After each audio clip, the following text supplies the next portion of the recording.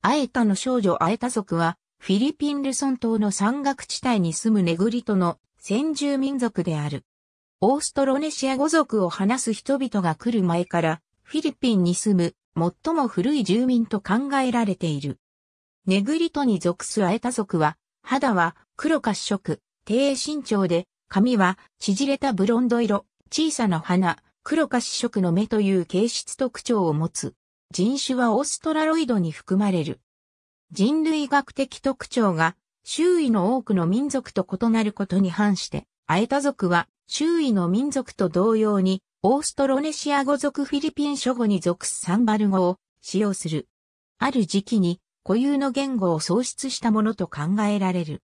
アエタは Y 染色体ハプログループ K2B1P378 が60%の高頻度で見られる。また、ハプログループ P が40%見られる。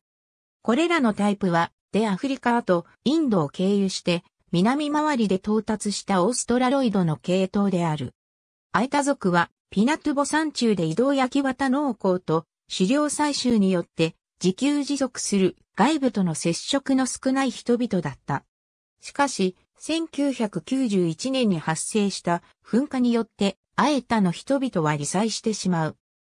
噴火による直接の犠牲者は退去勧告を拒んで山に残った103名だが、外界の病気への免疫を持たないアエタの人々は、劣悪な避難キャンプでの生活によって、肉体的、精神的に消耗したところに、インフルエンザや麻疹、肺炎が流行し、その後の半年間で1000名余りの死者を出した。その後、政府によって平地民の街並みを模したアイタ族の最低重地が急増されたが、農業に不適な場所で工作地も少なかった。アイタ族は政府に対して代替地として元々の不そ地であるクラーク空軍基地とスービック海軍基地の跡地の返還を要求したが入れられることはなかった。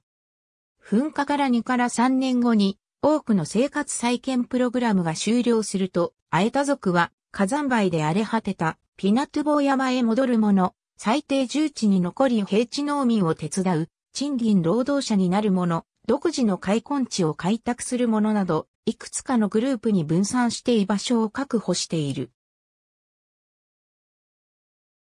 ザイタ。peoplesoftheworlt.org カーフト tm メンデスフロリダスドヨ H ランシング JS ハマー MF、インプルーブドファイロゲネティックレゾリューションラピッド、デバーセファケーションオブワイ、クロモソームハップラグループ KM526 イン、サウスイーストアジア。R、J ハムジュネ、23、369-373、ドイ、10.1038、イジグ、2014.106、PMC4326703、フリーリーアクセシブル、プミド2489万6152、デルフィンカイエトール2013、コンプリートマトドナジーノムズオブフィリピノ、エセノリングウィスティックグループス、エーメルティングポットオブリーセントエンシェント、リニーチスインザアジア、パシフィックリージョン、ア